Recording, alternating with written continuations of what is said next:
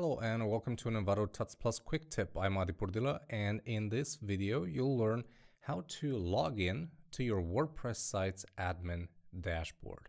Now if you're not used to working with WordPress, you should know that every website built with this platform has um, let's call them two components, right? It has a front end and it has a back end. The front end is the actual website that you see, right?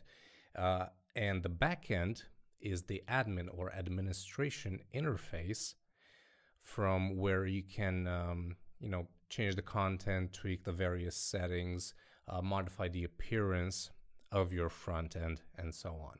So how do you get to this backend? Well, let's assume that you're um, on the front end right here, and you're using one of the WordPress's default themes. In that case, it's highly likely that you'll get this meta widget that has a login link. So you can just go ahead and click that one.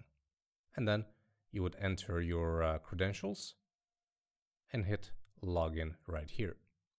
But what if you don't use one of these themes? What if you have a custom theme and you can't find this uh, this login link? Well, it's super easy. You just go to the uh, to the address in your browser and you add WP admin and hit enter.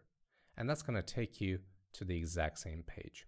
So enter your credentials, hit login, and you're in. You've uh, successfully accessed your uh, website's backend. Now, if you want to switch to the front end, super simple, go here where it says your the name of your website. Mine is local WordPress, but yours is obviously different. And you can either click here or visit site, and it's going to take you to the front end. But once you're logged in, you'll see this uh, persistent top bar that gives you access to uh, some quick tools in WordPress and also a way back into the backend or the administration or the admin interface.